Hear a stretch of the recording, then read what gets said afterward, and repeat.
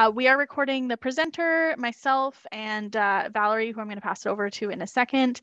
Uh, there will be time for questions. If you want to come on video and ask the question, it won't actually capture your video.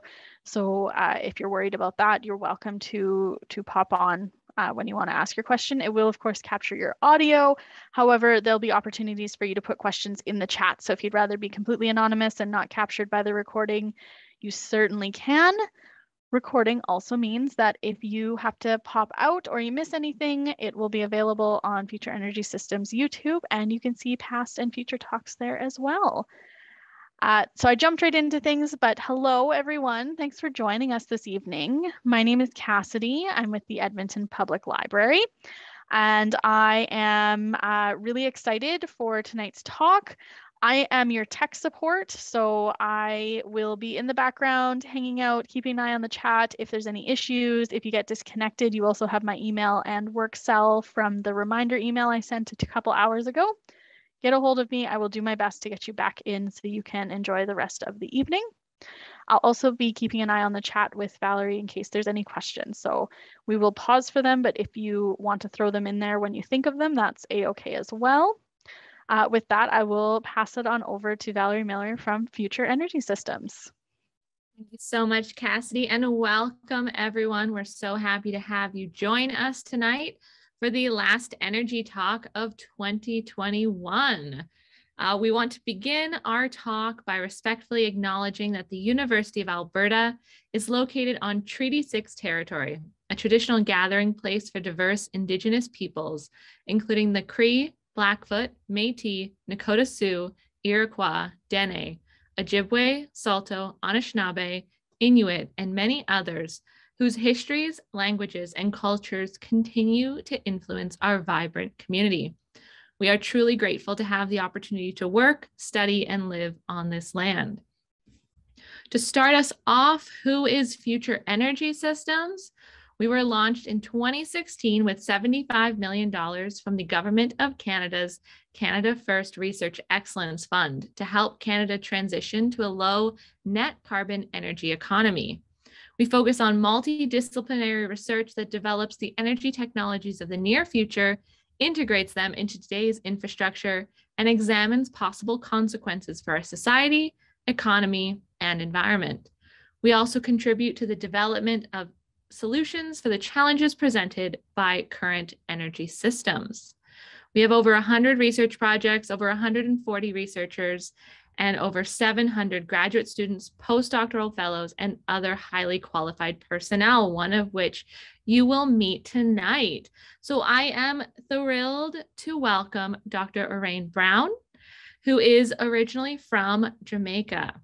He became fascinated with chemistry because of all the vibrant colors encountered in his high school chemistry labs. He completed a Bachelor of Science in Chemistry at the University of West Indies and taught high school chemistry and biology for three years, and then came to Canada for graduate school. He completed a PhD in chemistry with a focus on the, catal- the catalysts relevant to crude oil upgrading and is currently a postdoctoral research fellow in the Department of Chemistry and the Department of Chemical and Materials Engineering at the University of Alberta. Dr. Brown, thank you so much for joining us here tonight. We are thrilled to have you and so excited for your talk. Uh, just for everyone, as Cassie said, you can pop your questions in the chat. We're going to be stopping about halfway through and then again at the end. So I'm going to hand it over to you, Orain, and thank you so much. All right. Thank you very much, uh, Valerie. And welcome, everyone. I trust uh, everyone can see my screen here. I hope so. We can see your slides. We're on slide number two. Oh, all right. Let's go back to number one. Perfect. All right. Yeah. So uh, um, again, I just like to thank the uh, Future Energy System Science Outreach Team and the Edmonton Public Library for hosting this talk. Uh, you know, um, I think about Edmonton, living in Edmonton. There are two things I love about Edmonton, and not in any particular order, but it's the River Valley and the Edmonton Public Library. And I don't know which one I love more, but I do love both things. So I really am um, very, very uh, happy to be a part of this um, outreach that's hosted by Edmonton Public Library. Uh, all right, I'd just like to get started now. This evening, I'd like to talk about the hydrogen challenge, looking at greener strategies for processing biomass and uh, crude oil. And um, let's go here. Right, here we go. So we know that, you know, addressing climate change is definitely the defining challenge of our time. And I just did this very simple activity. I just went on Google and searched climate change um, a couple of days ago. And there's no shortage of headlines. Obviously, the BC floods um, pop to the top because you know they're topical and very recent. Um, but they're also, you know, some uh, bit more controversial. I'll go to laser point, right? There are, you know, one or two very controversial topics that I won't say much about. But the, the fact of the matter is that um, climate change is real and it is very, very um, present in our, you know, in our time, and um, it's affecting us in ways that we we are not even thinking about. So even you know, say for example, athletes, um, you know, are affected significantly by you know changes in climate, and while there's ongoing um, uh, effort to address, you know, um, changes in climate, the fact of the matter is that, as highlighted by um, the Intergovernmental Panel on Climate Change, that um, what's being done currently is simply not enough in order to restrain global warming to the 1.5 to 2 degrees Celsius target. So they're expecting that we must have much deeper reductions in the amount of carbon dioxide we emit if we're going to have any chance of hitting this um, uh, 1.5 to 2 degrees Celsius warming target. So there's lots of work to be done. And this is just um, from the report uh, this year.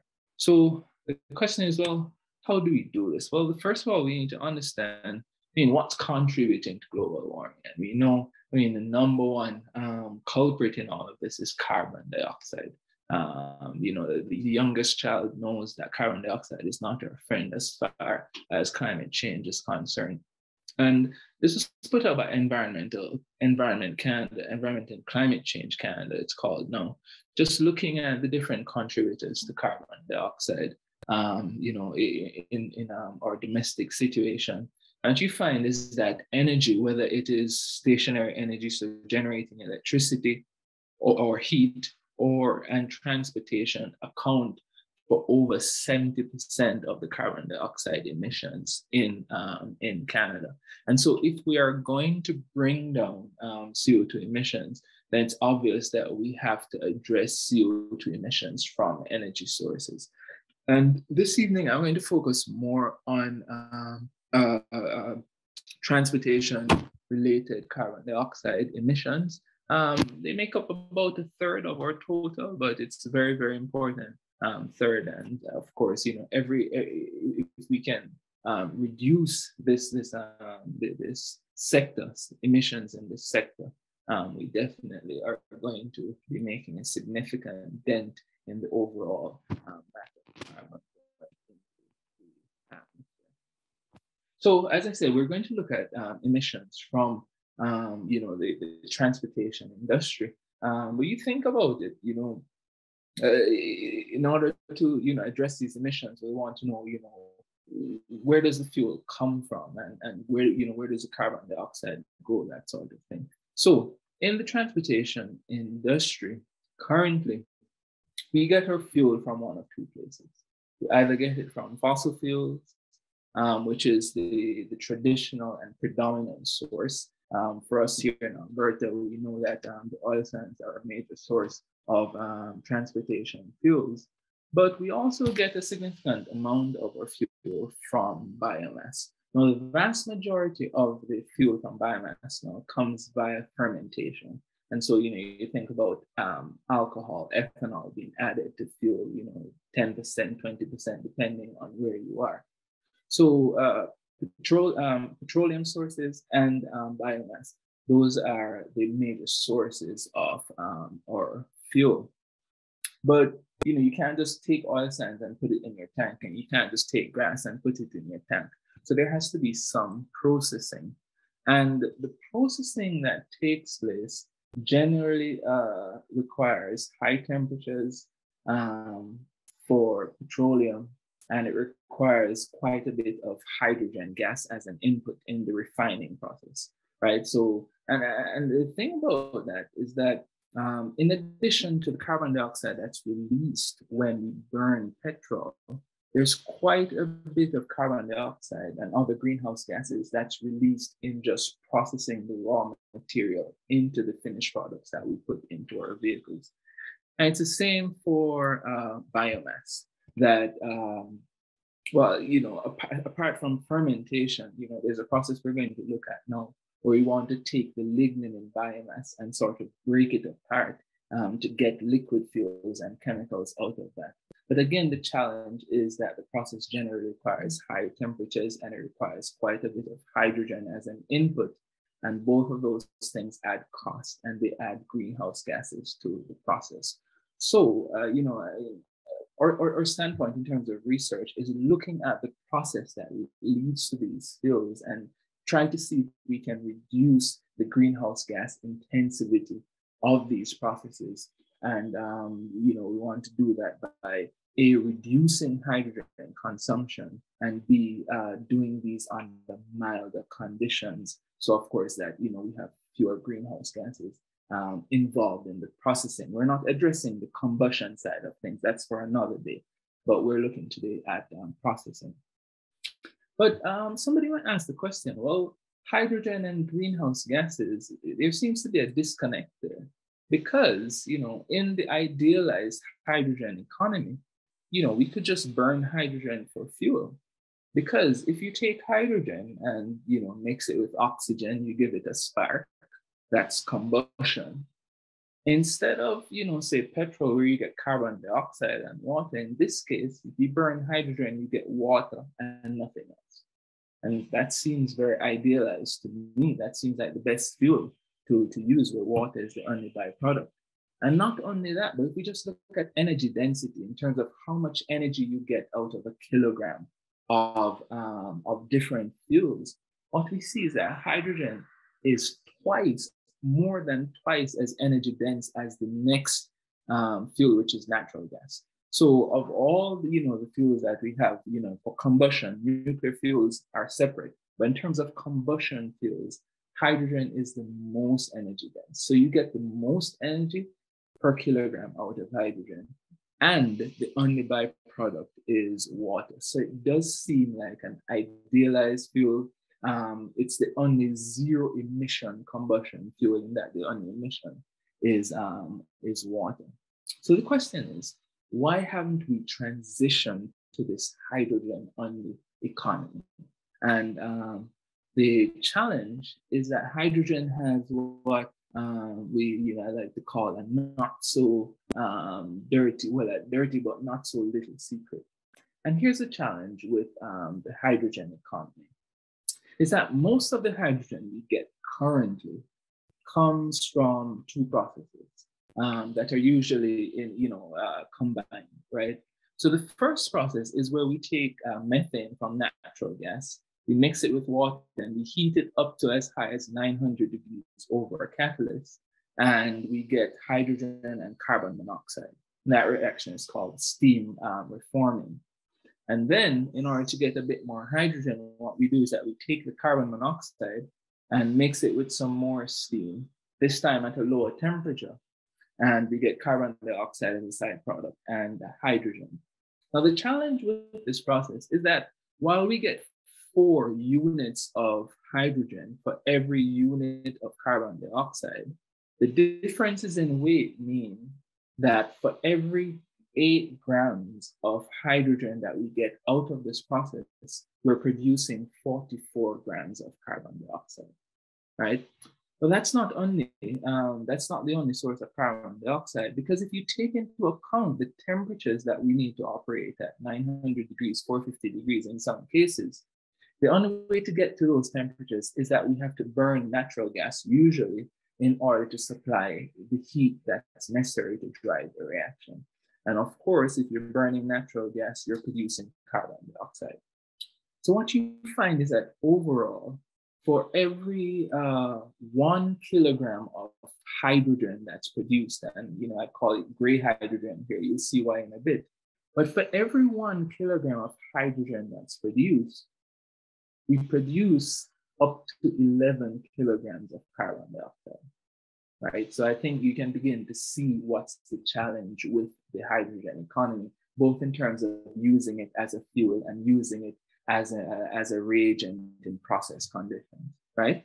And just for comparison, uh, if you take gasoline, if you were to burn about a, ki- a kilogram of gasoline, that's about 1.3 liters, you would get um, only 3.3 kilograms of carbon dioxide. So producing hydrogen is way more uh, greenhouse gas intensive than simply burning, uh, you know, um, gasoline. So that's a challenge. I mean, it's not all uh, bad um, that we can significantly reduce the emissions that are associated with hydrogen production by implementing something that's called a carbon capture and storage regime. It's essentially that the carbon dioxide that's produced during hydrogen uh, manufacture is sequestered, is captured and pipe somewhere and store it. And actually, this is something that's a reality. So one example is Shell's um, refinery in Scotford, just uh, northeast of Edmonton. Um, at their facility, when in manufacturing hydrogen, they capture the carbon dioxide and then they pipe that carbon dioxide from just north of Fort Saskatchewan. Um, they pipe it further north to, uh, you know, close by to Radway and Thorhild, and they store that carbon dioxide on the ground. And this has been going since, you know, about 2015. Um, the challenge with this is that it works. It works well, but it does add significant cost to the hydrogen that is um, produced. And this um, gives a nice comparison of the different ways to produce hydrogen. So gray hydrogen is the standard way without any carbon capture. That's the method that I, I, I walked you through before. And with gray hydrogen, what you find that the cost is low, but the emissions are very, very high. As I told you, one kilogram of hydrogen is producing as much as 11 kilograms of carbon dioxide in the process. Uh, now, there's also blue hydrogen. And in this case, I mean, the color of gas that, that's produced is not changing. It's just the process. You know, in, in, in blue hydrogen, essentially what, what we have is that we have traditional hydrogen production that's paired with carbon capture and storage. And in this case, naturally, we're going to have lower emissions, but the capital and operating costs for the carbon capture and storage system means that the hydrogen you produce is going to have a significantly higher cost, sometimes as high as two or 300% of the price of gray hydrogen. The most ideal way to produce hydrogen is from electrolysis, especially if you're using renewable electricity. In that case, you have no emissions because the electricity is renewable, could be solar or wind. The challenge with that, though, is that you know while the research um, is certainly advancing at a rapid pace, the cost of the infrastructure and the cost to operate these electrolysis systems is so much that the cost of green hydrogen that is produced without emissions is um, between three and eight US dollars. And of course, if somebody is going to make a a cost decision um, between gray hydrogen and green hydrogen, unless there's some significant government, um, you know, regulatory pressure, they're obviously going to go with a lower um, priced resource. That's just the difference in the methods of producing hydrogen. Uh, so it's not to say that all hydrogen production is carbon intensive, but the most practical and most widespread hydrogen production now is very um, carbon intensive. Now, I just want to come back to the point we were making earlier, which is this that to produce our fuels, whether from biomass or petroleum, um, and to produce petrochemicals, we need high temperatures and we need quite a bit of hydrogen. I want now to show you why this hydrogen input is A, so expensive, and B, so greenhouse gas intensive. So now I want to sort of um, plunge forward to show you um, some strategies that we're trying to adopt to reduce um, the consumption of hydrogen in these processes and at the same time reduce the operating conditions. So we're not, um, you know, using such high temperatures and generating as many greenhouse gases in producing um, these fuels and petrochemicals. And oh, by the way, we're going to start off looking at the biomass side of things, and then I'm going to close off um, looking at the more traditional petrochemical source of fuels. So uh, biomass, you know, using biomass as a source of energy. Plants are the ideal source of energy. Um, you know, it's a carbon neutral source of energy in, in terms of that plants absorb carbon while they're growing. And then, you know, if you burn them afterwards, they release carbon dioxide. And, you know, the cycle continues. You plant new trees and then you keep absorbing and releasing carbon dioxide. So it seems like definitely an ideal process in that it's carbon neutral, right? So the question is, well, why don't we just burn wood instead of all these other fossil fuels? Why don't you just burn wood? That way we have the perfect cycle of carbon dioxide um, instead of just continually increasing the amount in the atmosphere. And the challenge is um, that, you know, A, you know, burning wood, as we know, you know, produces a lot of other pollutants beside um, greenhouse gases. So there's smoke and so forth. Um, that's, um, you know, not ideal. But I think the more, um, the more pressing issue is just the fact that, you know, if you have, um, you know, a Prius and you want to take a trip like I love to do out to Jasper, you know, you can't exactly load up your car with wood and use that for fuel. It's not a convenient fuel, right? So, you know, if we're going to use plants as a source of energy, we definitely have to do be more scientific than, you know, um, or forefathers or foreparents were hundreds of years ago, and that we can't just burn wood. But if we look at the components of plants, then maybe we can extract, you know, um, sources, you know, molecules from, you know, plants that we can use um, as energy sources and as sources of um, chemicals. So let's look at the major molecules in plants and see what is in there that we can extract out. So we have proteins, and you know, most we use that for food. So we definitely don't want to be using proteins, uh, you know, as industrial fuel. There's sugars and starches, and again, that's important fuel food source.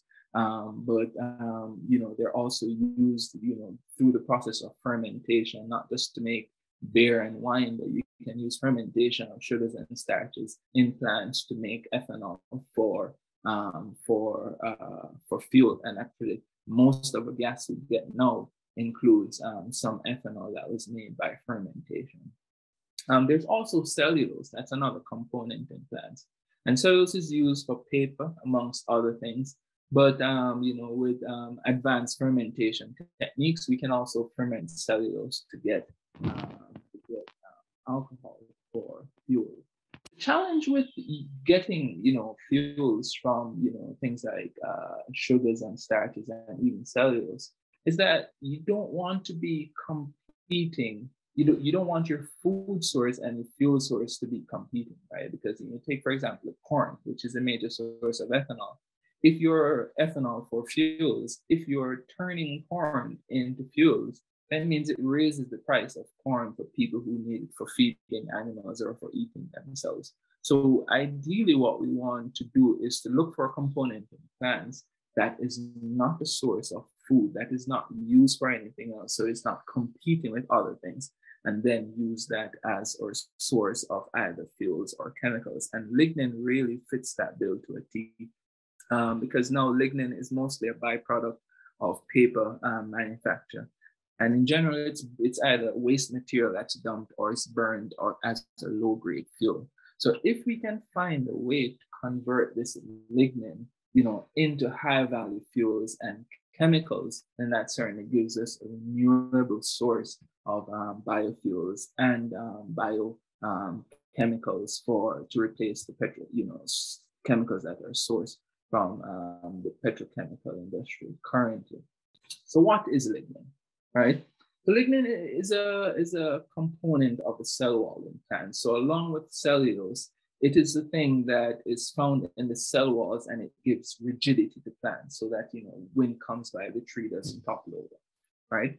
So that's the major role of lignin in that it's, it plays a structural role in the cells of plants. It's a very complex um, biopolymer.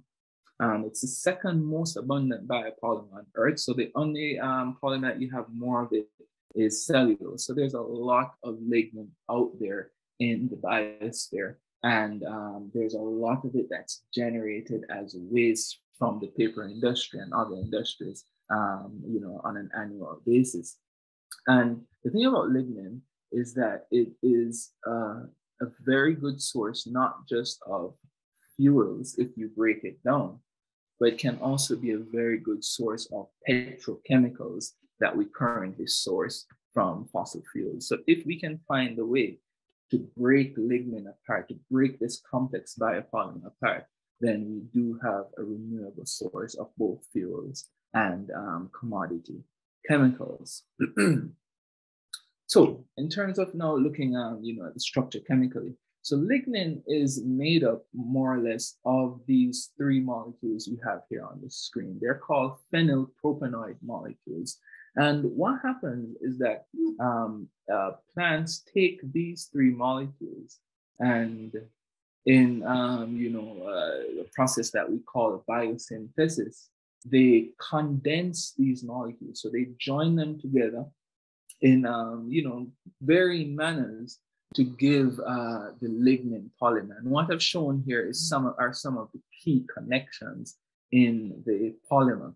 And um, this numbering system here um, is just essentially, you know, assigning, you know, each position and identify so that when the connections are made, we know what positions are connected where. And why that's important is that this um, uh, uh, linkage that's on the, the bottom left of your screen here, this beta O4 linkage, so termed because the beta position is connected to the 4 position of another molecule by an oxygen, hence beta O4. This linkage makes up somewhere between 45 and 60% of all the connections in lignin. So 45 to 60% of all the connections in lignin look like this. So essentially, if we can find a reliable method for breaking apart this connection, then you can see that we're pretty much half the way to breaking lignin down to get the original, um, you know, monomers um, that we started with, right? And these monomers now are, are going to be what you know the molecules of interest for both um, you know fuels and the petrochemical industry. So the question then is how do we break down these connections in lignin?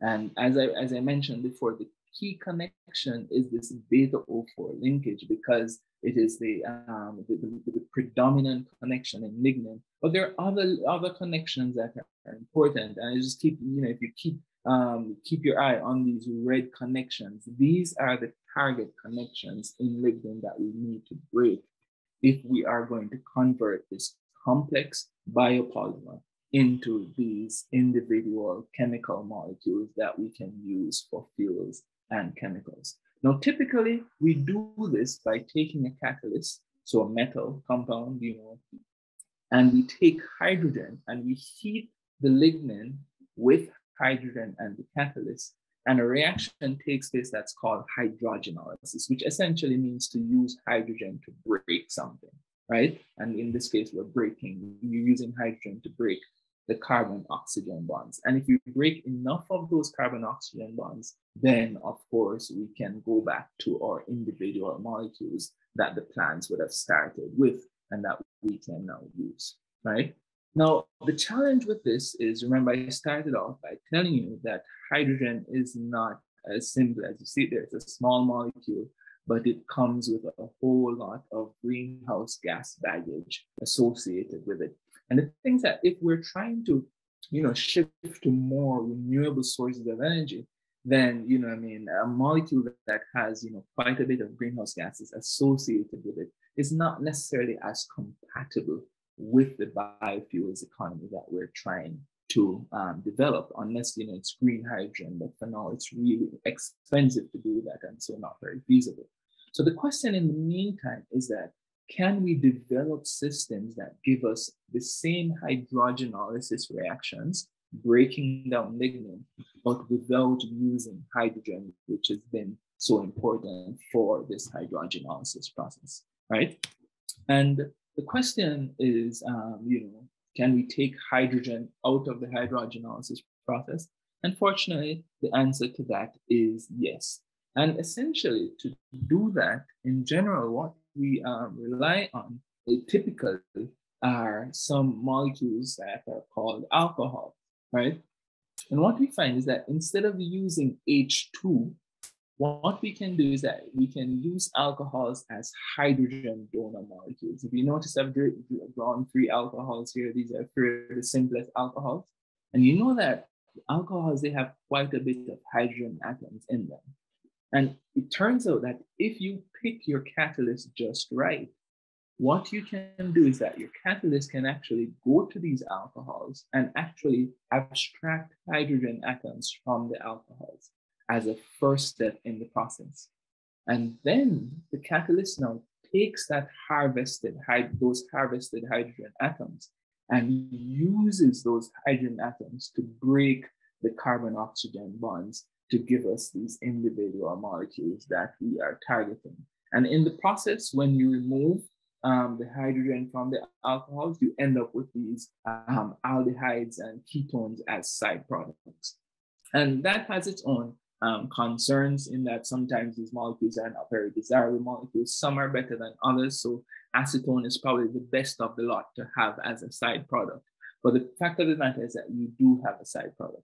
So there's some advantages to this process in that um, while you know you can use alcohols which um, generally might have a lower cost than say hydrogen, um, you know, but the, the challenge, of course, is that no, instead of just using H2, a very simple molecule, to break this lignin apart, no, you're using a much bigger molecule in terms of the alcohols. And so in chemistry, we say that that, that process has a poor atom economy. And what does that mean? It's simply that now, instead of using just two atoms in hydrogen to do your reaction, now you're using anywhere from five to 10 or even more atoms in order to do the same reaction. So it's poor atom economy but still, you know, it's widely used because it's more, um, you know, environmentally friendly in general than say relying on hydrogen, um, and the cost can can be low in some cases.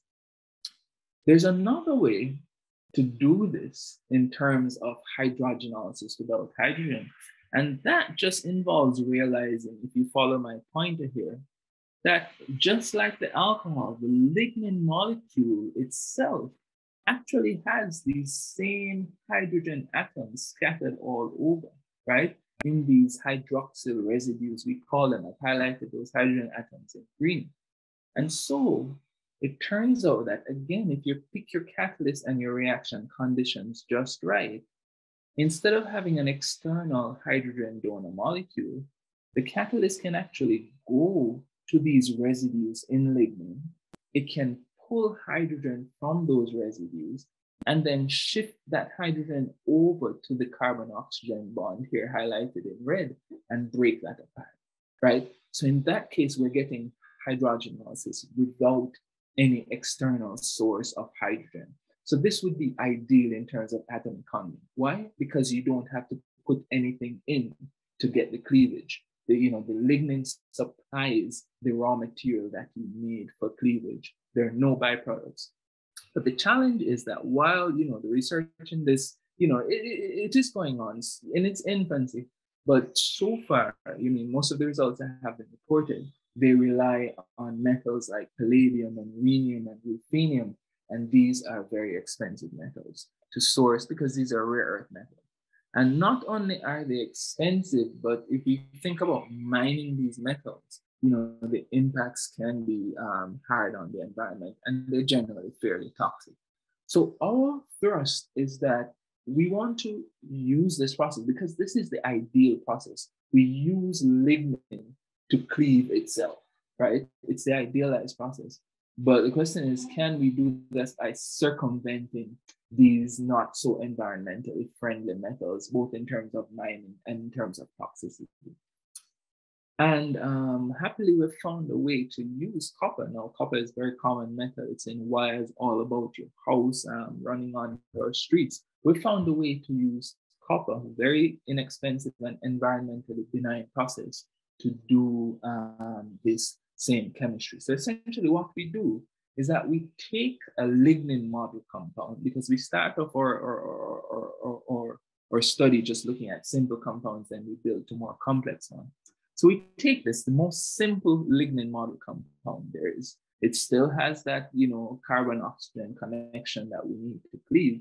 But what we find is that if we take a copper catalyst that's specially prepared and heat that with the lignin model compound, that we were very, very delighted to see that the catalyst was able actually to do exactly what we wanted, which is to take hydrogen from these, um, you know, residues that are dotted about the molecule and use that hydrogen to effect the cleavage of this carbon oxygen bond that, um, that we were after.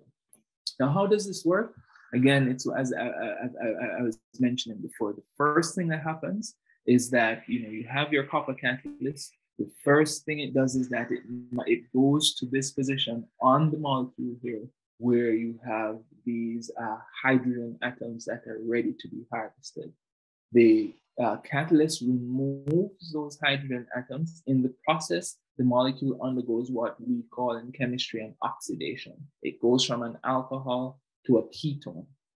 But one of the benefits of this process is that not only did we harvest hydrogen from the lignin um, model here, but an, uh, uh, uh, an effect, the side effect of this is that this bond here that's highlighted in red becomes much weaker when you change from this group to this group.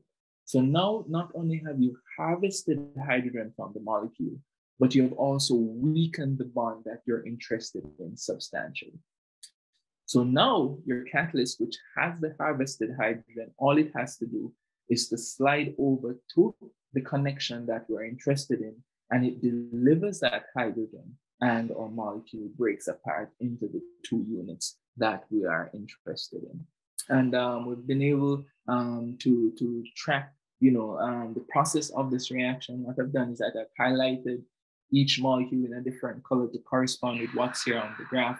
And I just want to point out that, you know, we start off, you know, with 100% of our starting uh, material and very, very quickly, you know, the catalyst immediately begins to degrade the molecule. Um, you know, so the concentration of the starting molecule falls off significantly. And at the same time, we have an increase in the concentration of our, um, or individual components of that starting molecule. And then this intermediate here um, is formed, but there's never a whole lot of it.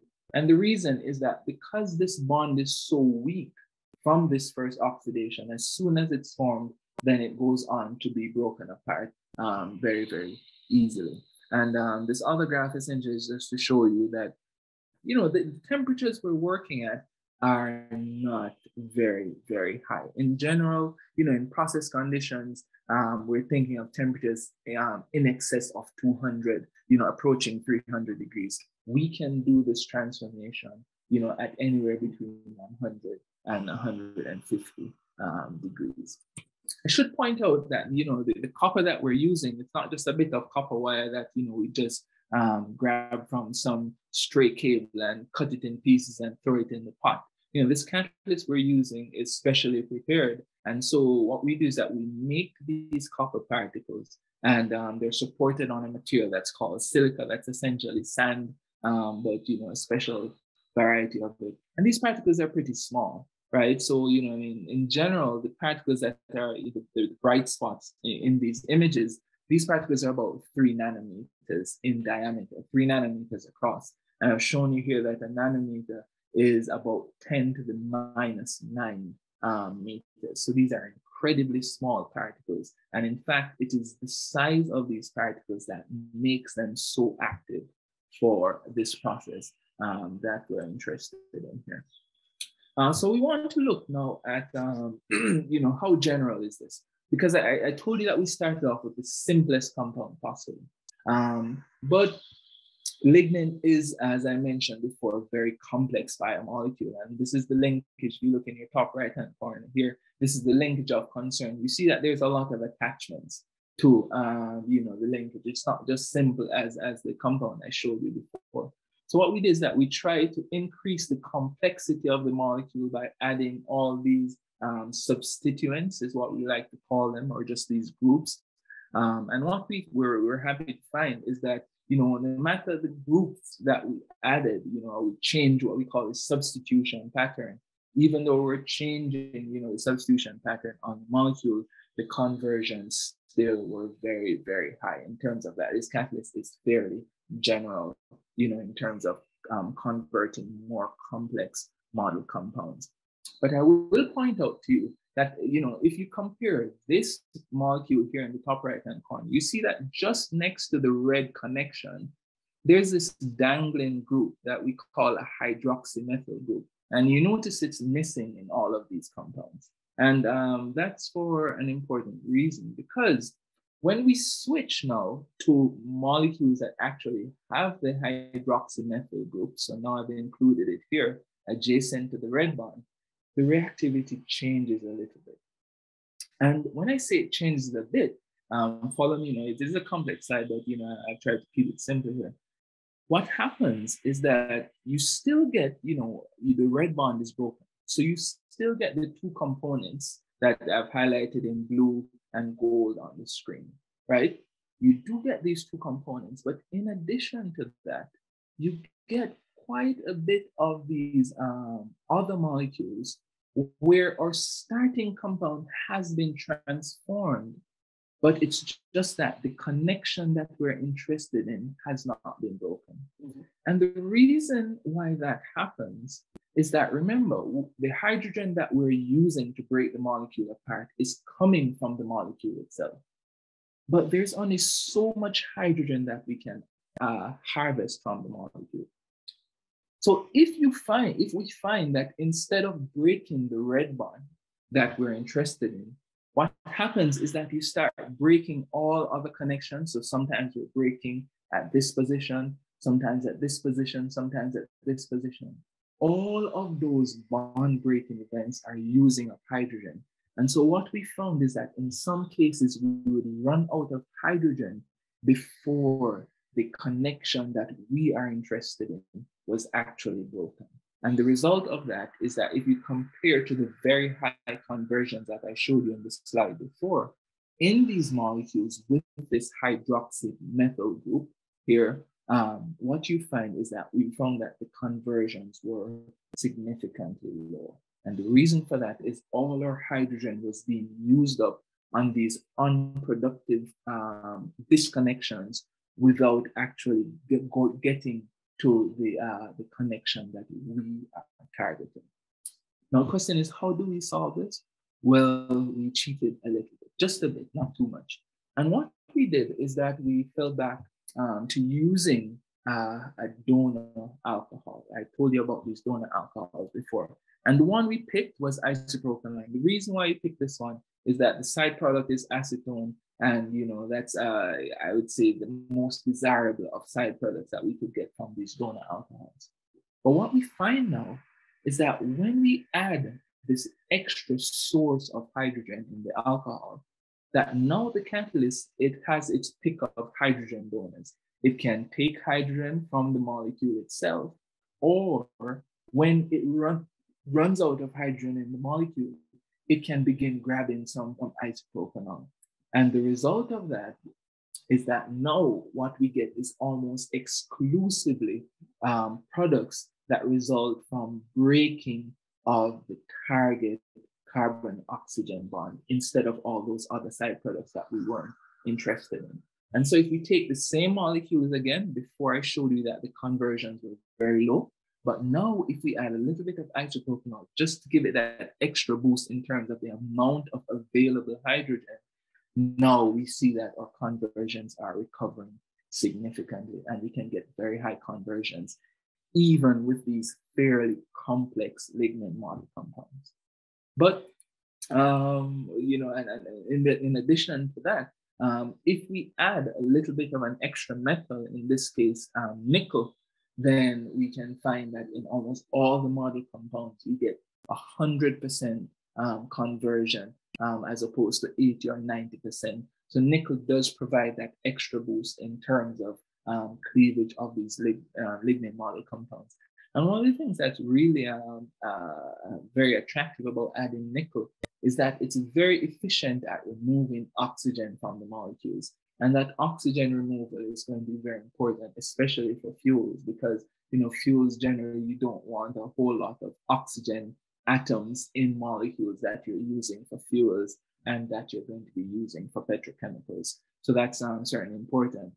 But even more important than that is that with this extra, so this copper nickel catalyst now, um, you make of, of, of two metals, in addition to getting very efficient conversions with the model compounds, we can now switch the actual lignin samples. So this is no longer models we make in the lab. This is raw lignin that we extract from um, aspen trees.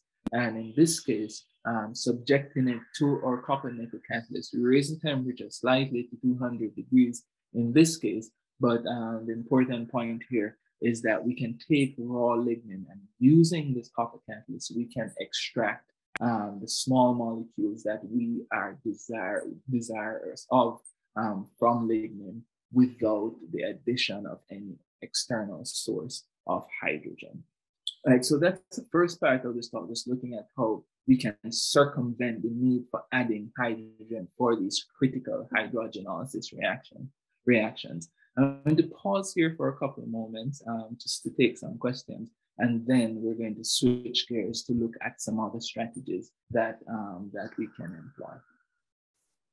Feel bad pausing us. I just want to keep going. I want to learn more, but we do have some questions. So it's good to take a, a brief break. Uh, for everyone in the audience, feel free to share your questions in the chat and I will moderate those or pop your hand up. Uh, the first one we have is related to all of those molecules that you are describing. I think there was seven that are produced out of that lignin that you talked about at the end, right. uh, four major products, and then three much smaller ones. Yeah. Are all of those molecules useful? Or are you looking for only an individual one? Well, no, actually, all those molecules do have a potential to be useful. Um, you know, you think about uh, if you think about it, for example, in the sense of fuels. I mean, the fuel you put, you put into your car, it's not one individual molecule. It's a mixture of, you know, I mean, some in some cases, hundreds of different molecules. The important thing that you're looking for is in terms of is the number of carbons and you know, I mean, the connections that are there. And so the connections are more or less the same, and the number of carbons are more or less the same. And so, you know, in terms of you're thinking about a fuel mix or even a petrochemical mix, um, this is something that could be used directly with some with some removal of some of these oxygen groups. But yes, all these molecules have the potential to be um, to be to be useful. Love a no waste process. It's much better. Yeah. Uh, Another question we had, and I think you mentioned this early on in the talk, but someone was wondering if you can just provide the estimate of how much CO2 is produced per kilogram of gasoline produced in Canada. I know you talked early on about how much carbon dioxide is released when we burn right gasoline. Right. Um, so in, in terms of, of production in Canada, um, in general. So in general, uh, gasoline, in terms of producing, say, you know, per a unit of gasoline, the production carbon dioxide is equivalent to about 30% of the combustion value. So, you know, if you're producing, say, three kilograms, you know, per liter, um, just ballparking then um, on the production side, then maybe you're looking at about a kilogram. Um, and so while it's it's it's less than production, it's less than the combustion side, but any any place that we can find to reduce the carbon dioxide impact in the process is certainly an advance and desirable. Absolutely. I think one of FES's comments I made early on is that we're trying to improve our current energy challenges. So this is one of those ways to really reduce our carbon dioxide emissions for something that we still currently need. Uh, next question we have is what about using an acid catalyst such as ion exchange resins that have hydrogen ions for breaking the lignin molecules? Absolutely, that's something that actually is in the literature. It's not um, the focus of our own research, but um, definitely that's something that um, you know is, is is it's practiced, and there's a lot of um, research outside of our own um, FES community here that focuses on that. Wonderful. Uh, next questions are they're just flying in. So if you see me looking this way, it's just because they're coming in the chat.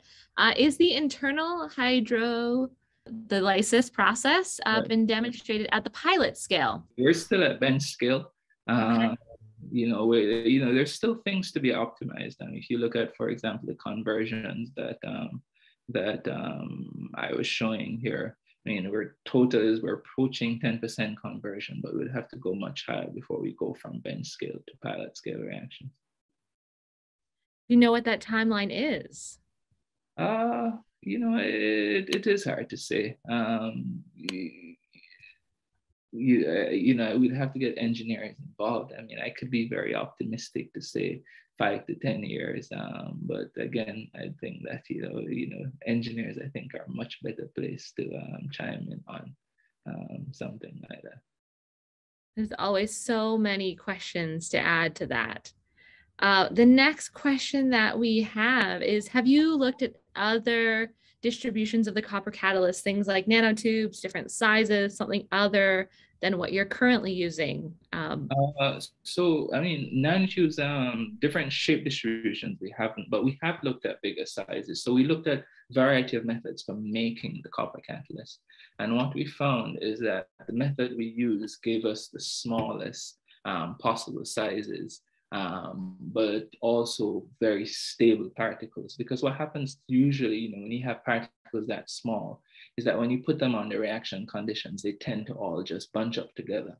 And then once they're bunched up together, they're not as active because you don't have as much exposure um, if they're all, um, you know, crowded together. So we found that these really small particles that we prepared by a, a method that we call surface organometallic chemistry were the most active. The other particles we use were, were bigger and generally less active for the process. They work, but just weren't as active as, as these particular ones.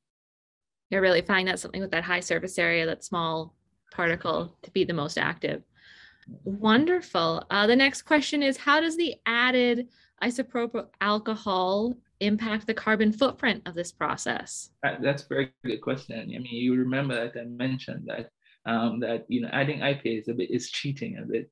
And ideally, um, we do uh, you know any additive at all is going to increase the carbon impact of um, your process, right? Um, and um, there's the fact that you have a side product now that you're going to have to dispose of or find a use for. I mean, fortunately, acetone that we get from, you know, um, as a byproduct IPA is a fairly useful um, side product. It's used a lot as a solvent in, in, in industry, but um, we're aware that, you know, adding IP does um, push up the, the, the, the, carbon impact.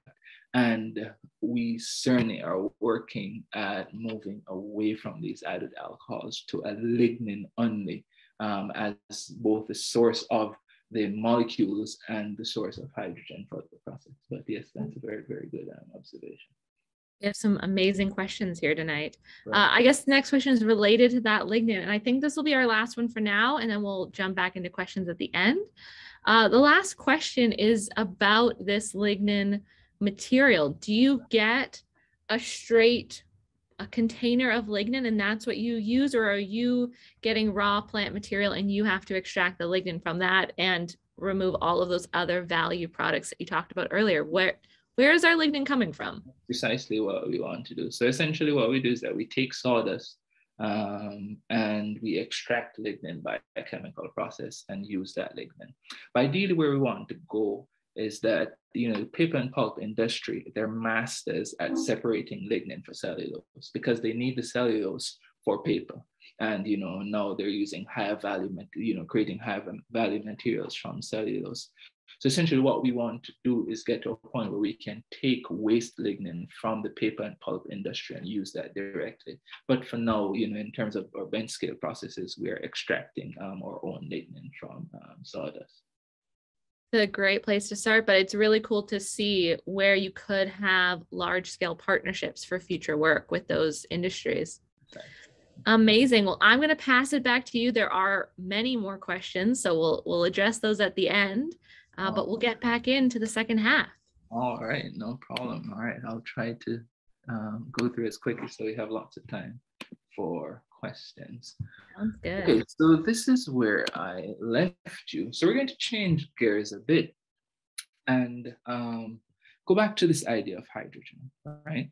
And um, another thing about hydrogen, if, you, if anybody remembers their high school chemistry, is that hydrogen really is uh, two protons and two electrons, right? And the two electrons are attached to each other in a bond. And I've drawn, drawn it here. So you have the two hydrogen atoms and there's this um, connection between them. That's two electrons.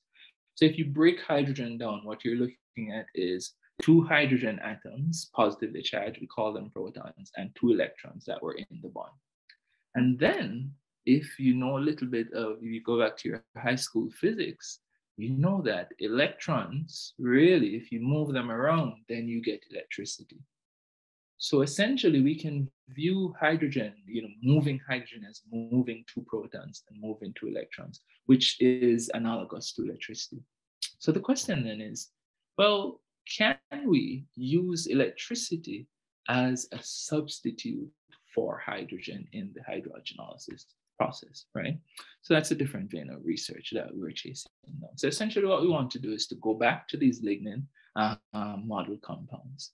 But instead of you know heating the reactions um, and, and, and, and, um, to get the, the carbon oxygen bond cleavage, we want to essentially use electricity to grab hydrogen atom, whether from the molecule or from a donor solvent, and to move the use the electrons and protons to effect cleavage of the bonds.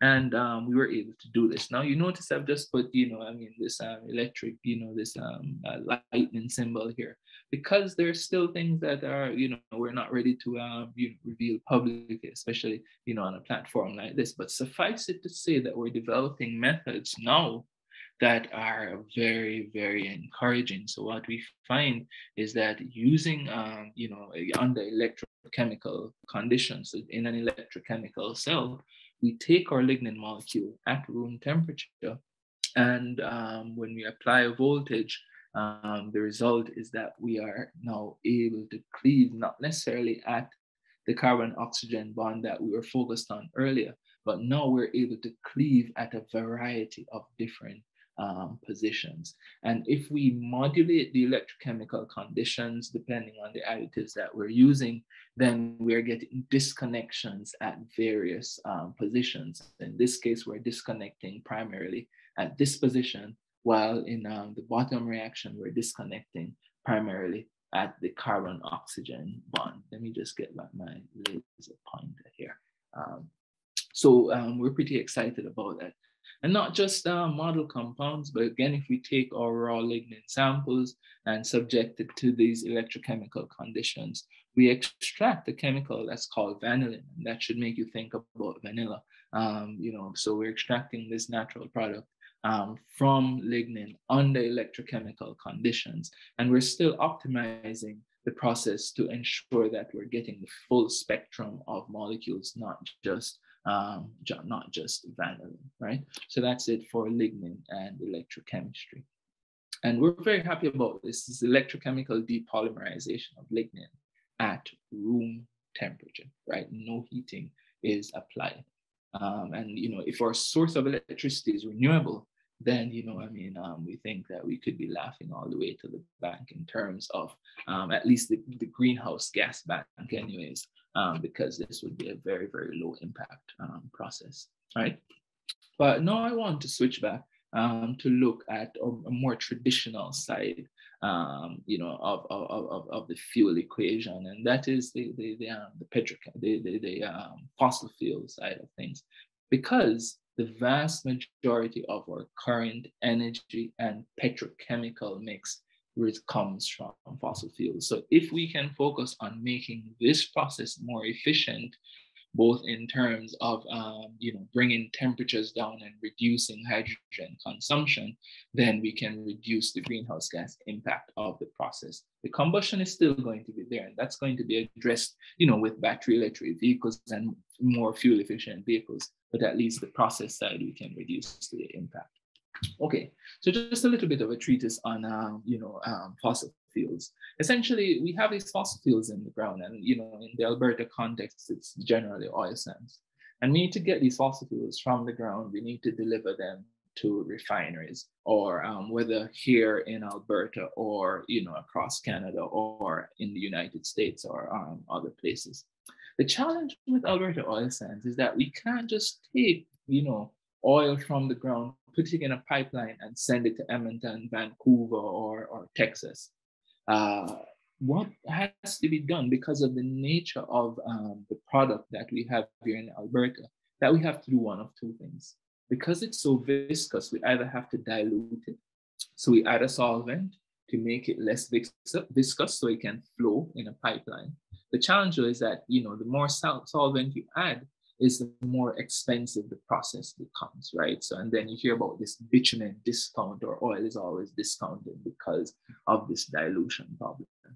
There's another thing that you can do is that you can take the material at places like, say, um, Fort McMurray or, you know, um, say Scotford here in Edmonton, and you can do what's called upgrading, where you take the raw food and you know there's quite a bit of heating involved and some hydrogen and other processes and you convert the material from the raw crude to what's called synthetic crude. And if anybody you know about syn crude, it's essentially just uh, it means synthetic crude, right?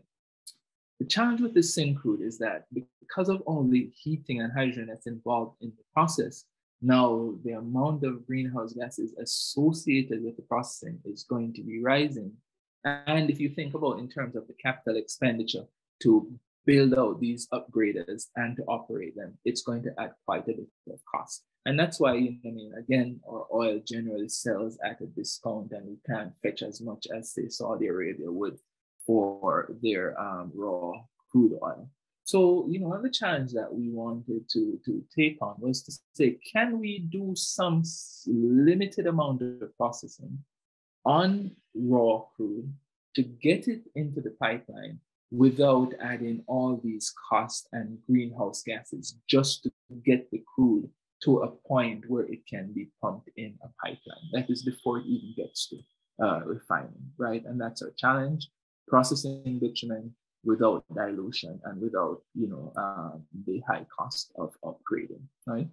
Now, one of the reasons why bitumen is so challenging a product, Alberta crude, is that um, what we have is a very um, highly aggregated product, especially one fraction of bitumen that's called asphaltenes, right? And you know, asphaltenes essentially is um, this is just a cartoon representation of them. But essentially, it's a complex mismatch of molecules, and these molecules uh, have all these interactions with each other. So you know, I mean, the green interactions they're stacked on top of each other.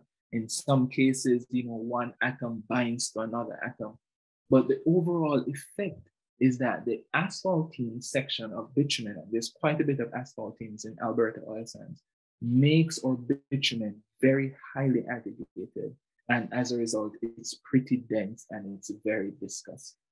So if you look at this graph here at the bottom um, right-hand corner, this is our Alberta bitumen here. And this is just a graph looking at um, the viscosity, you know I mean, of the bitumen and how to process it to get it to pipeline conditions. So Alberta bitumen starts off with an API gravity, which is just a measure of density and viscosity combined. That's very low, 7.8. Now, if the API number is low, it means you have a very dense, very, very viscous and dense product, right? To get it in a pipeline, the API has to be at least 18 or 19. So you can see that you can't take Athabasca bitumen and put it in a pipeline. You actually have to process it even before it sees a pipeline, or you have to dilute it. Now, there are a number of ways to go about processing this bitumen to get it to a pipeline. But the best thing to do, if you look at this, um, you know, this square point here and look at the key, is that you add hydrogen and remove sulfur and nitrogen. But once you hear hydrogen, alarm bells should be going off. Is that if we need to put hydrogen in the oil just to get it into the pipeline, then that's going to be adding cost and that's going to be adding greenhouse gases. And this is one of the reasons, not the only reason, but it's one of the reasons why Alberta Oil Sands has this record of being so carbon intensive because of the pre-processing that needs to be done just to get the product to market. So if we can find a way around this where we can still, um, you know, upgrade the product to get it to market, but without all this greenhouse gas intensive process, we would be on to something, right? Um, now, there are ways to do it, and we looked at, you know, just the thermal process of using just hydrogen and low temperatures, and along with a catalyst and some promoters, and we're able to take this test compound, and you know, we could add hydrogen and remove sulfur, and um, that was effective. But again, you know, we have the challenge of hydrogen, and so while it's an advance because it's a very low temperature compared to say four or five hundred degrees that's used in industry, but we really want to address this hydrogen elephant in the room. It's a small molecule, but a big elephant. Luckily, this electrochemical strategy that we found works so well for bitumen is actually very transferable to petroleum um, sources. So let's take this compound, right? It's called dibenzothiophene, and it's a very good model for you know these heavy, um, you know, dense aggregates that are found naturally in oil. So what we want to do is that we want to create a process that remember two things that we want to add hydrogen and we want to remove sulfur. Well, we found that again, under electrochemical conditions, if you tune your process just right, we can actually take this molecule and add a fair amount of hydrogen to it. Um, you know, these are just showing just some of the molecules that we're able to get out. So we started with this molecule that had, you know, um, 10 hydrogen atoms. You go over here, you see that now we're adding quite a bit more hydrogen atoms. So we're doing a process that's called saturating the molecule without um, hydrogen gas. Um, in addition to that, if we tweak our process a little bit again, um, so remember here we're exclusively adding hydrogen. But if we tweak our process in this case, we can both add hydrogen and we can remove sulfur. And remember that graph I showed you that that is the target process for getting the bitumen to pipeline capacity. You want to add hydrogen and remove sulfur. So these are laboratory scale molecules. One of the things that we're really excited about is that we can take asphaltene sources. Now, asphaltenes, as I mentioned before, this is the worst of the worst in terms of fraction of bitumen that's most problematic you know, it's not very soluble. So if you add these diluents to it and put it in a pipeline, then the asphaltenes have a tendency to precipitate out and they can clog the pipeline and other equipment. Um, you know, so so what we did is that we went after this most problematic um, fragment of, of, of, of, of bitumen, and we found that under electrochemical conditions, we could convert this material that's not very soluble in hexane and hexane solubility is like the gold standard in terms of the quality of the product. So we can take this um, very insoluble, difficult to work with uh, fraction of bitumen, and under electrochemical processing conditions, we can convert that into material that is more resembling the kind of crude that you can pump through a pipeline.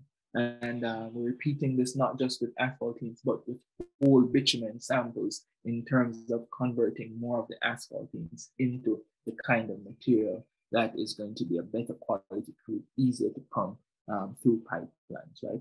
And so we're excited about this. This essentially represents electrochemical disaggregation of heavy oil, but we're doing this instead of at four or 500 degrees with um, hydrogen gas being added, we're doing this at much milder conditions. We're doing it um, without, um, you know, added hydrogen. Yes, we do have um, some hydrogen donors, um, but uh, we're really very excited about this and we're um, continuing to de- develop this.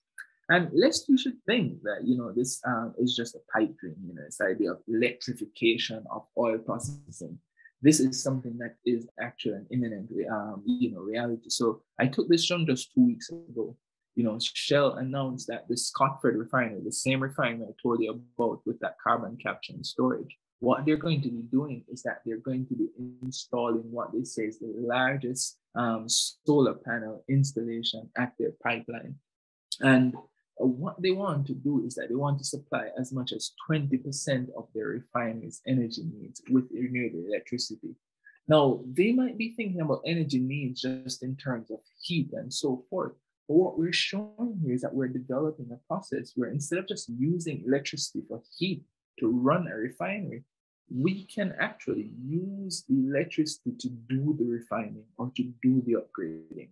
And if it's a renewable source of electricity, then again, we are really, um, you know, raking it in, in terms of the benefits of reducing the greenhouse gas impact of the overall process. So um, that's more or less it. So what I hope I've showed you um, today is that uh, this um, uh, concept of hydrogenolysis without added hydrogen is actually possible. We can do it under thermal conditions with a copper catalyst in the case of lignin, um, or we can use electrochemical conditions to break lignin apart or to add hydrogen and remove sulfur from oil compounds. And this is not just limited to model compounds, we're taking actual raw feeds, whether it be um, lignin that we've extracted from plant material or bit, um, asphaltenes and raw bitumen that we get um, you know, from the oil sands, but under whether thermal or electrochemical conditions, we're beginning to see the depolymerization in case of lignin and disaggregation in, in, in, in, the case of oil. That's um, certainly very encouraging in terms of how we can move this, um, whether elect- electrochemical upgrading or electrochemical processing, or this um, sort of um, hydrogen-free processing in terms of thermal process for lignin. Um, but we're very encouraged on this, and we are working on fairly assiduously to optimize this to get uh, much better results, of course. And as somebody asked before, what we want eventually is to move from the bench scale um, to um, the pilot scale. Uh, and so we're working assiduously on improving these processes um, so that they're ready for uh, sort of, you know, piloting um, in terms of processes. So with that, I'd just like to thank you all very much for um, joining me. I've gone on for quite a bit, um, but just allow me to thank a wonderful research team that's driving this process. Um, myself, Professor Stryker, and um, you know um, Dr. Hamilton, Scott, Jadav, and our PhD candidate Amir. we're together. We're driving this project forward as fast as we can and as efficiently as we can. And finally, I'd just like to thank you all for listening. Thank you to EPL for hosting this wonderful series. And that's the end of it. I'm happy to take any questions um, that are still lingering. Well, that was wonderful. You can only see me and Cassidy, but huge round of applause. That was such an interesting talk. That hour just flew by. I know that everyone in the audience has learned so much. Questions were just flying in. Uh, and I know we're going to see that uh, in this section. So pop your questions in the chat. We are excited to see them. It's just such a interesting process, and it seems like there's real value and ways we can take it forward. So the first question that we have is talking about those asphaltenes. How are they currently dealt with? Because it is such a current challenge. Um, are they useful at all? How do we deal with them at this point until we brought in this new method?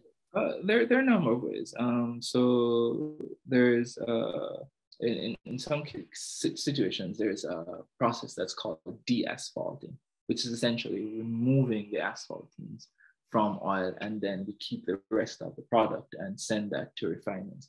Um, and that's a viable process. The only challenge is that because Alberta bitumen has a much higher asphaltene content than most um, bitumen around the world, what you find is that if we have to go through a significant amount of de-asphalting, then we're losing quite a bit of uh, volume in terms of our product. So if you have to reject, say, 20 or so percent of your material that you pump out of the ground, you reject that, and then you have to find something to do with that rejected material. Then you know that adds cost, and it just you know uh, you know uh, makes your process less viable. It's still profitable, but less viable than say, um, you know, you get from say Saudi crude, which is like the um, the gold standard of crude. Um, there's another process that's called coking, and it's essentially a carbon rejection process where you heat, you know, to high temperatures.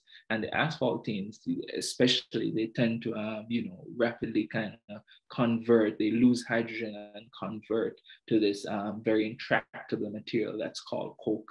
And in that case, I mean, you can just bury that or burn it. And this, uh, I mean, fortunately for, for us, um, now another, um, you know, section of our group um, is really looking keenly at how we can actually take this coke, this rejected um, asphaltene, um, you know, fraction and actually add value to that so we can convert it into valuable material. But yes, the in short answer is that there are processes for removing the asphaltenes now, and actually it's favored in some cases.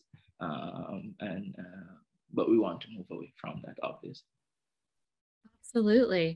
And when you're talking about that hydrogenolysis um, with uh, copper, uh, the copper catalyst, right. the electro uh, electrocatalyst, you talked about the electrocatalyst being used for both the biomass and the um, the crude oil, and with the copper catalyst being used for the lignin. Can the copper catalyst also be flipped to the uh, being used oh. in crude oil? Uh, the copper by itself, no, but copper and nickel together, definitely. Because I mean, I don't know if you remember that. I mean, the, the, the, the process that we developed for using hydrogen to process um, crude oil with um, potassium um, as an additive that relies on nickel.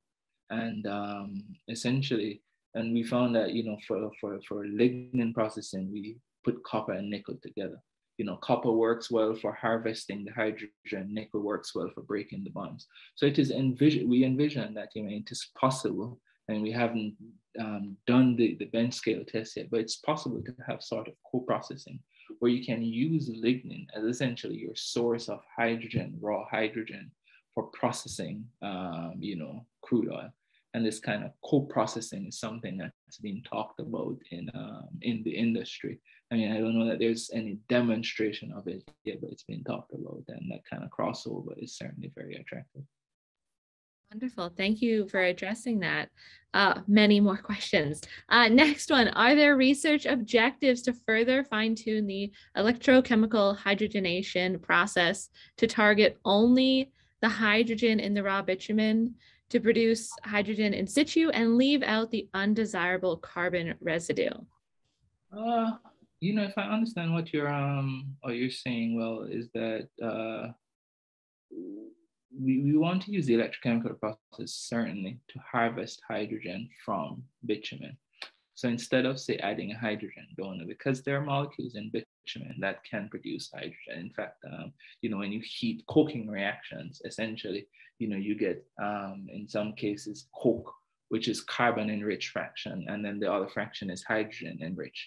So we can definitely uh, harvest hydrogen from um, you know, some fractions in bitumen and use that for processing. And we definitely want to go there. I hope I understood what they're asking um, correctly.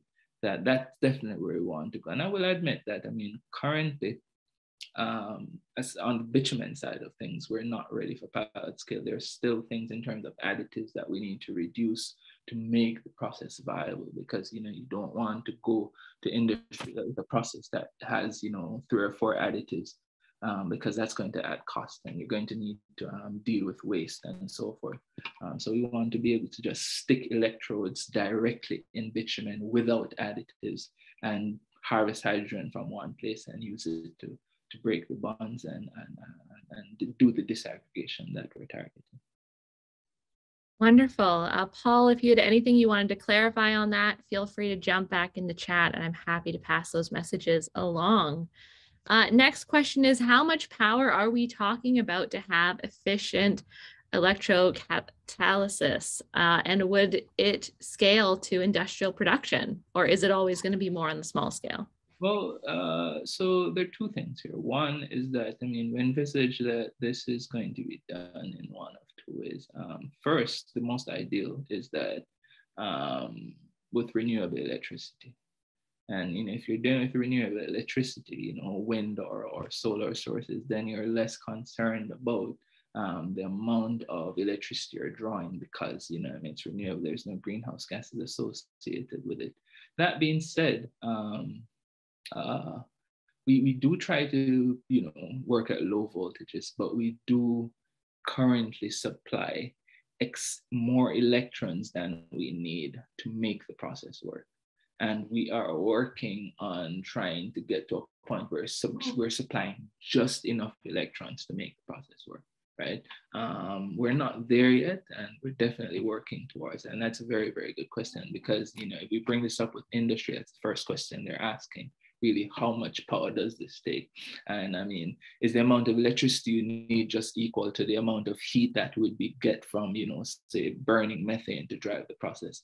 And we're targeting, um, I mean, we're operating at fairly low voltages as is, but we definitely are, are, are moving towards um, trying to develop a much more efficient process than we currently have. Um, and to address that very, um, to address that very concern think we're going to have to invite your lab back in like a year or two and find out how things have oh, changed. It feels like things are moving pretty quickly and we can see some some major breakthroughs in the next little while. Uh, and people in the audience are saying, please do come back. So okay. right. wonderful. Uh, again, anyone, if you have any last questions, pop them in the chat. Uh, the next question we have is from earlier on in your talk um, you are addressing the processing kind of right. side and not the burning of the fossil fuels or the biomass. Mm-hmm. When we think about greenhouse gases emitted from energy, does more come from the processing side than the actual burning side? Are they pretty even? Um, is this going to make a big difference? No. Um, and, uh, you know, I mentioned if you take, for example, gasoline um, alone, um, you look at the fact that, you know, the process side I mean, the greenhouse gases on process side is about 30% at best, or sometimes even less, you know, 20 to 30% of what they are on the combustion side. But, you know, here's the reality that we're existing in, and you hinted at this earlier, is that as much as we are intensifying our transition to renewables, um, on the transportation fuel side of things, um, you know, battery electric vehicles just this year accounted for less than 1% of sales, total sales, right? And now that's going to accelerate, but it's going to mean that all vehicles that are sold this year and the next year, and the ones that, like my own car that's about 10 or so years old that I plan to keep for maybe another 10 years, you know, what I'm saying is that um, we're not going to see overnight the disappearance of, um, you know, burning of fossil fuels right? And so I think at least we have a very, um, we have a responsibility now to address those um, parts of the equation that we can address um, to reduce the carbon intensity of the overall process. I do think eventually we're going to get to the point where um, phase out, you know, the internal combustion engine. And in that point, then we address completely the, the combustion side of things um, but petrochemicals we're going to still need, you know. So while we might go to say battery electric vehicles, but you know all the plastics that we use and plastics to make the vehicles, you know, all of that comes currently from petrochemicals, and so um, we're still going to have to do quite a bit of processing of the raw material to get our petrochemicals, and so if we can, you know, address the the, the, the emissions on the processing side, it's definitely going to have a long-term impact that lasts beyond phasing out of internal combustion vehicles. Absolutely. It is uh it's not a flipping the switch. It is a long-term process that's going to take a lot of steps along the way and this is an important one. Right. right. Uh, next question. Since the goal is to use the electrochemical process at an industrial scale, will there be a global GHG carbon calculation done uh, to assess what is needed? Uh, and that's from Amir. If uh, well, you know, um, I, you know, I hope I'm understanding the question correctly. And and here's the thing that uh, if the, the, there's some carbon impact on say implementing renewable electricity so you know making the solar panels making the, um, the, the turbines for wind and so on there's some carbon impact there um, you, you know, even constructing a hydroelectric dam, there's some carbon impact. The thing is that once we've put these things in place, right, there's upfront, there's this very steep upfront carbon impact.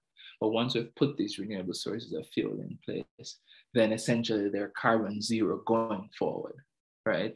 And so, you know, I think that once, if, you know, if a lot of this electrification is powered by um, renewable electricity, then we definitely, um, you know, the, the, impact certainly is going to fall off over time, you know, except for the upfront um, investment. um, even if we're using non-renewable electricity, the, the, the thing is that if we can make these processes um, efficient enough, we are working on it. If we can make these processes efficient, you know, so that the um, energy impact is less than current processes where we're using heat, you know, or we're using or we're generating hydrogen by the traditional means if we can at least switch to you know an, an electrified regime where you know the, the energy impact is less than current um, then I, I, think we're certainly um, we're certainly you know going to be in the net positive in terms of carbon reduction. Um, so yes those calculations are needed.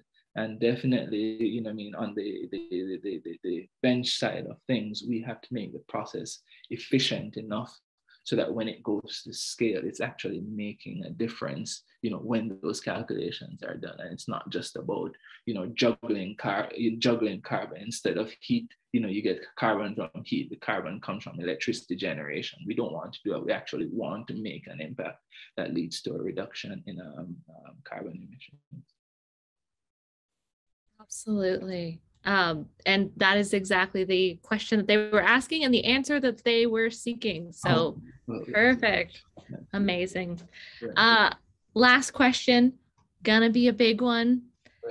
What can we do now as individuals, uh, those of us both working in energy and those of us just living in our world, do to make a difference in climate change from your perspective, your expertise? I know well, it's a big question. Oh, I mean, first of all, I'm no expert in climate change. I'll tell you that much. You know, I can tell you lots about copper catalysis, but not a whole lot about climate change. Um, but you know, there's a there's a website I, you know I came across when I was doing a lot of this climate change reading that was called the 1.5 degree webs um, lifestyle and you know, interesting thing that they highlighted was Canada, for example, actually is one of the worst um, in terms of per capita impact on, um, you know, in terms of carbon dioxide per capita um, that's emitted. Um, and the thing is that because you know we live in a place that's um, you know we have winter all the time, um, so you have to heat your houses. you we have to drive lots of places. I totally like going out to Jasper. I don't know if I give up my Jasper trips to um, to contribute to reducing climate change.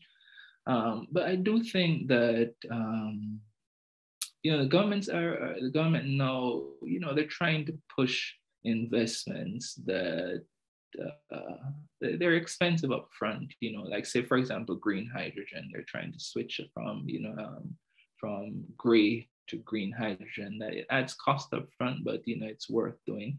I think we definitely have to sort of evaluate our lifestyles to say, well, you know, it might be um fun to have you know massive um SUV and you know I I, I, am in, in the doghouse as far as that con- concerned. Eh?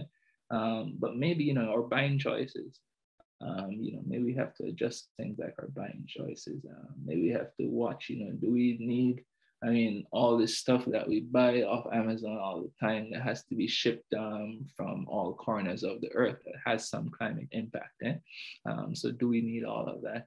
Um, and then, you know, as you know, we're lots of young people are probably on here, we're looking at buying homes. Are we trying to buy homes that, you know, have some incorporation of solar panels or geothermal heating, things like that? Um, is things swirling around there about eating, you know, I mean, and you know, I know I'm in Alberta, so I don't want to step on toes, but you know, I just adjusting our diet, you know, eating more, um, you know, fruits and vegetables, which is really healthy for you, has a lower impact. So there's a lot of things that you know can be done, but again, let me just um, you know bookend that by saying or reiterating that I'm no climate expert really. And uh, you know, I see you put in the chat some things here that proper experts have um, put together as to how you can make um, an impact on this um, that's happening. But it's one thing that we ought to take it seriously because it is happening and it's affecting um, people around us. And um, just this last summer teaches us, you know, the heat of the last summer teaches us that as much as we're in a cool place, you know, we're not immune for, from the effects of um, a changing climate. Absolutely. Thank you for sharing thoughts on that very big question. uh, and for sharing your research. Uh, I know that this, I learned so much uh, from this talk, and I am sure our audience did as well. There have been so many glowing responses in the chat. Uh, thank you, Tracy, and everyone else who said who shared your thoughts on this uh, this evening. Right. Orain, thank you again. Huge round of applause. It was my pleasure. We've loved having you. Everyone, we hope to see you at our next EPL talk in January. So we won't be around in December, but we're back in January. The link is in the chat for you to sign up. We also have the link to learn more about Orain's research. Uh, and if you can let us know what you thought of tonight's talk, there is a questionnaire. Uh, lets us know what you're looking for in the future so that we can try and find it. You can sign up for the newsletter in there, everything to learn more. Thank you all again. Cassidy, any last remarks from you? All I can echo is thank you. That was a really fantastic, engaging talk. Um, I want to echo what Tracy said is that Orain, you do a fantastic job of making this science really accessible for someone who is not a chemist and struggled a little bit in high school chemistry. So thank you for that. Um, and for all the folks joining us, thank you again for, for coming out this evening. I will be sending you one last email tomorrow morning. So if you missed a link, I uh, expect an email in your inbox uh, first thing tomorrow with all of that information. And thanks, everyone.